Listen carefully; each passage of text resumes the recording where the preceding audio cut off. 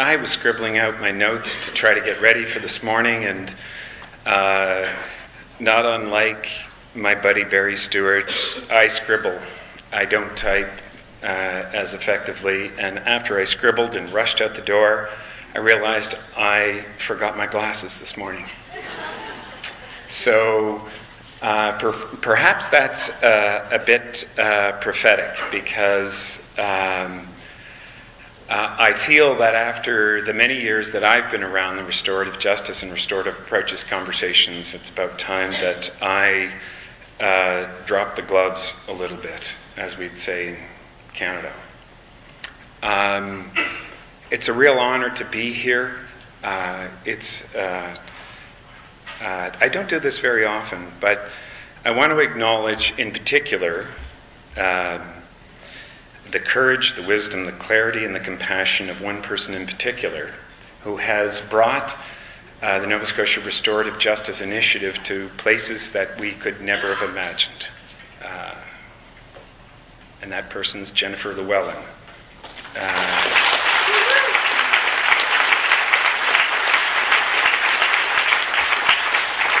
We had no idea 20 years ago, Bruce, uh, what would become of what it was that we were trying to hatch uh, at that time. Um, but what we sensed deeply was that there was a wisdom uh, that was beneath the surface of what it means to be a Nova Scotian.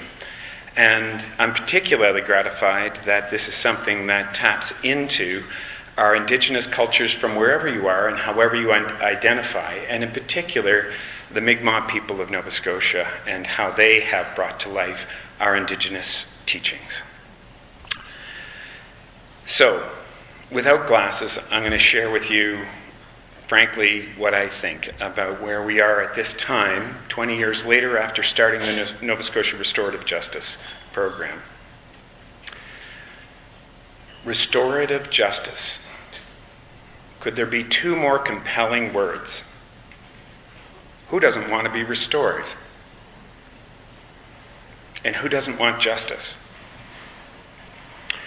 But the two words together, however, seem to create more debate than the words Donald and Trump.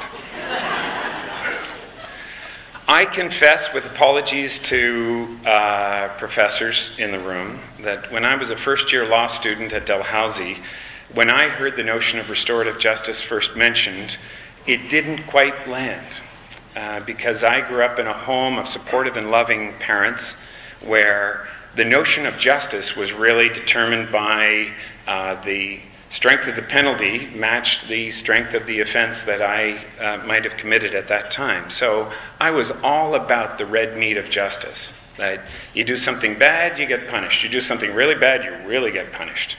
I was one of ten kids in my family. And it was only when I became a defense lawyer that I realized, frankly, that victims were getting the shaft and my clients were getting a free pass, and that communities were left on the sidelines oblivious and making assumptions and judgments about the experience of people on the inside. So, back in the 1990s, some of us started down the path of creating the Nova Scotia Restorative Justice Program, which led for me 15 years ago to fortunately being part of the creation of the Youth Criminal Justice Act uh, here in Canada. So the hats that I wear sometime relate to both uh, criminal justice uh, in a youth justice context and restorative justice. Three months ago, I was in Tanzania. And I was there, uh, some of you would know or know of uh, Professor Tony Doob, retired professor emeritus from the University of Toronto, who is one of the leading uh, thinkers on youth justice in uh, Canada. And the two of us were co leading a workshop on youth justice and restorative justice for Tanzanian officials, judges, crown, uh, ju- uh, prosecutors, uh, defense lawyers, and the like. So we started with youth justice. And Tony and I went up to the microphone and we did our eager beaver best to sort of uh, convey to people the importance of the system that uh, could possibly provide the supports that we need. And I absolutely believe that uh, we turned a corner with the Youth Criminal Justice Act, and uh, it's not perfect, but uh, big things had happened.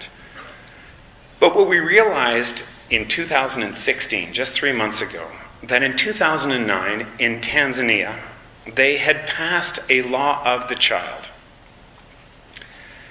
By and large, this law of the child was not being followed by police, by prosecutors, by defense lawyers, or by judges across the entire country. And it caused us to think about why is that so?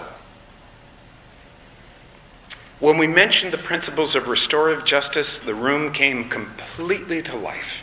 Stories flowed in, personalities were animated, and possibilities were activated. So I've spent the last three months really thinking about what really happened there and what landed for the people there. What I realized was that First, the rule of law is a cornerstone of any healthy society. And when one considers the, the traditions here in Canada of due process, it makes me proud to be uh, part of the legal system uh, here in Canada. But laws can sometimes be the BS masquerading as our values. I'm not sure whether BS translates into every culture that's in this room, but I hope that it does.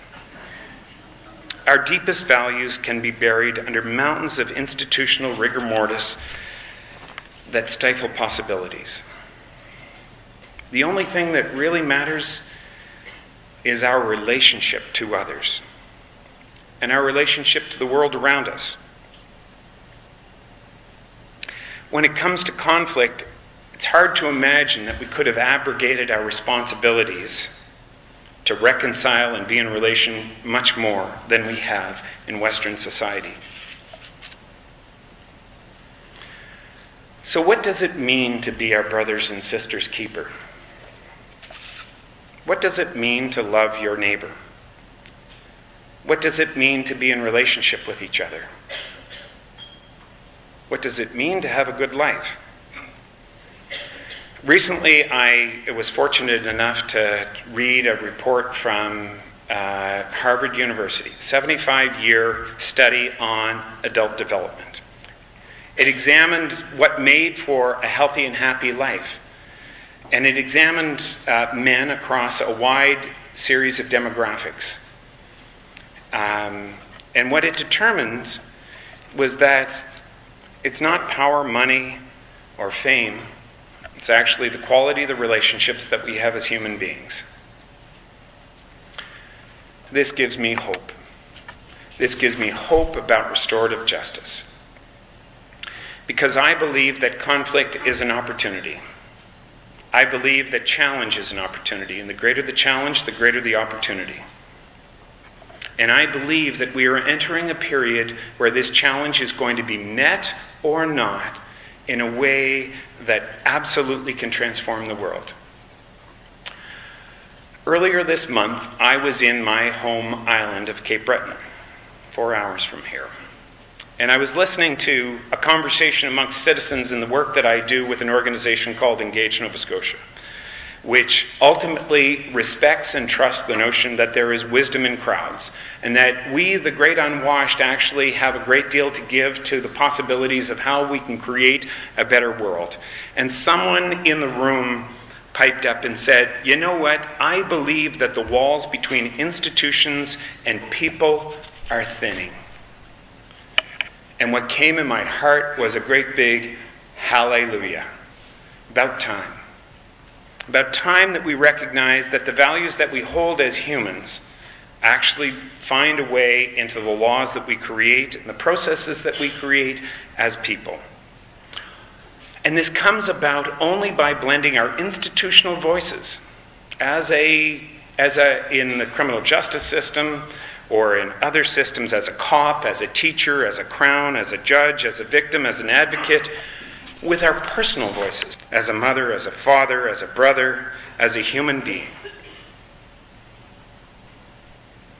The invitation for us is to embrace all that it means to be a human being.